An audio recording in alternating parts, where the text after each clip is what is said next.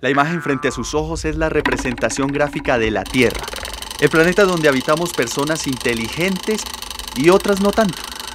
Un ejemplo de persona inteligente es el inventor de la rueda, debido a que no hay rastro alguno de él. Cuenta la historia que la primera rueda fue moldeada a base de greda, posteriormente con madera y metal, después con menos madera debido al uso diario. Más adelante la base fue construida con metal y caucho en el borde, llegando a convertirse en llanta. Esta hace parte del carro de Alexei y Laura, su hija. Él es una de esas personas no tan inteligentes que mencionaba. Ya verán por qué.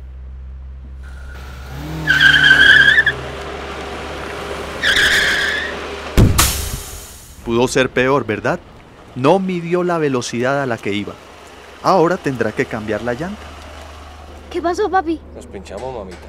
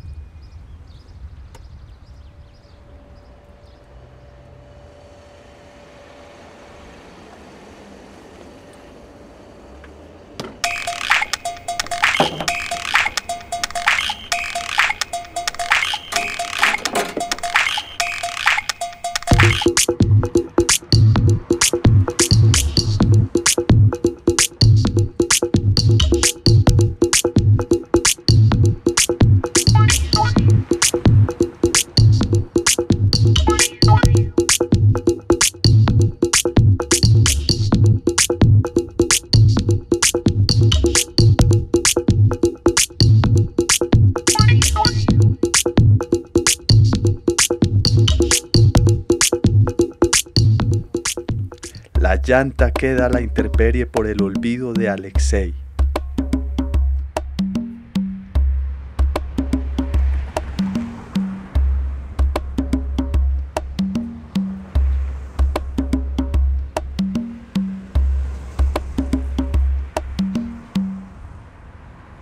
Esa persona que viene ahí es Don Mario.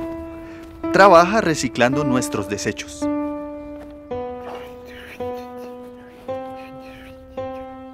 Probablemente le dará un buen uso a nuestra llanta abandonada.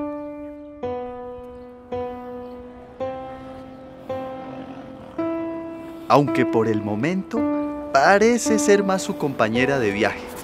Dios mío santísimo. Ya es tarde y al parecer don Mario se dispone a descansar.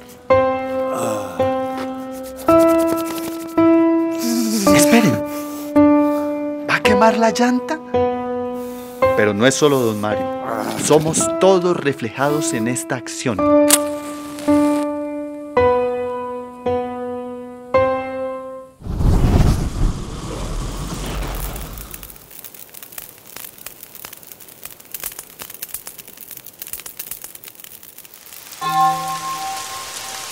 El mal uso a este objeto significa un desequilibrio ambiental. Se preguntarán, si nada de esto hubiera ocurrido, ¿qué hubiera pasado?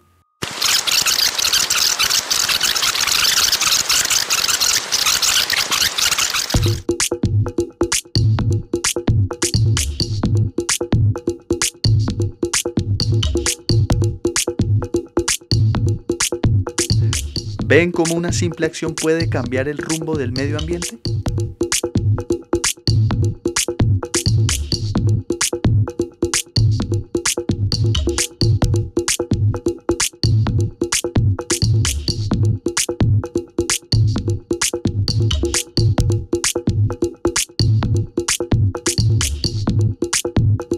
Alexei entregó esta llanta a un punto de recolección, donde posteriormente le darán una nueva vida útil.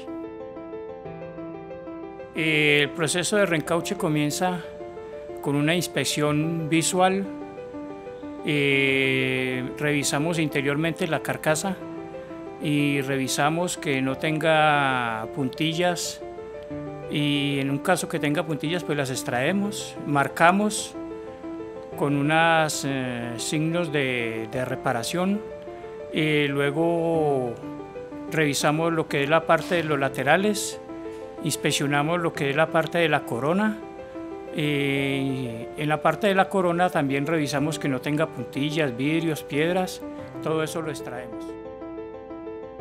Eh, luego ya de la inspección inicial ya pasamos al proceso que es de raspado.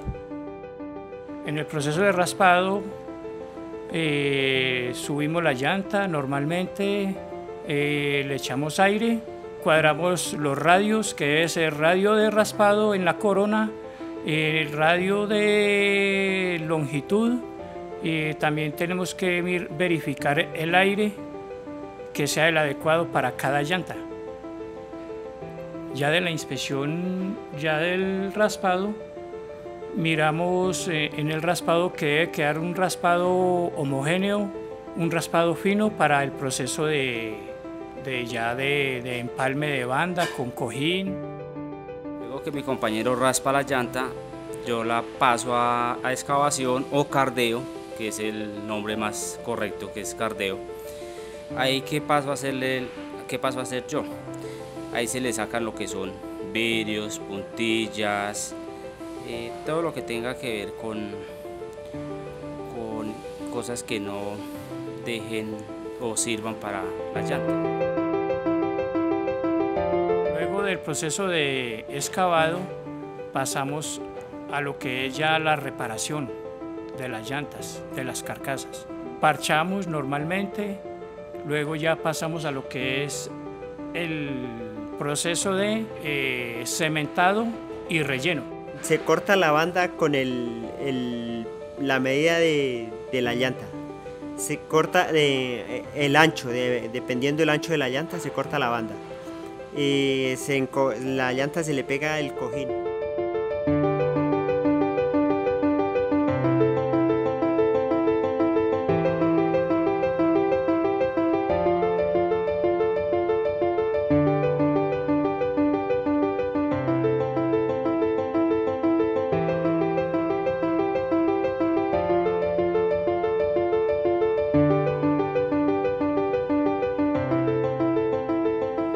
Ya se, se, rodilla el cojín y se le pega la banda. La llanta se somete a varias máquinas que renuevan la banda de caucho para que pueda rodar en las calles como nueva. Una llanta promedio sin defectos mayores puede aguantar hasta tres reencauches.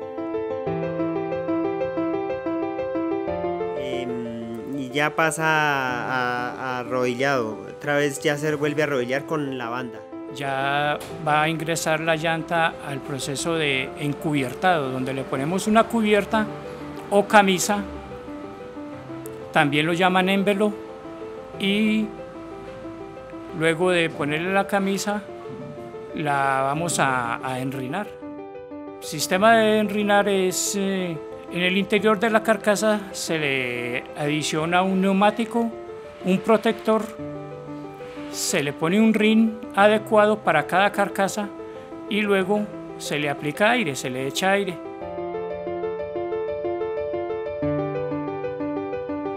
para ya ingresarla a la cámara a vulcanizado.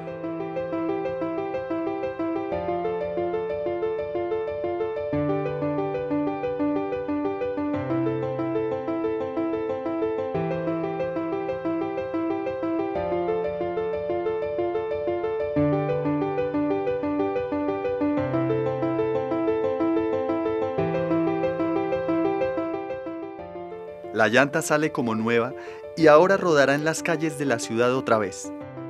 Este es solo un proceso de muchos a los que la llanta se puede someter.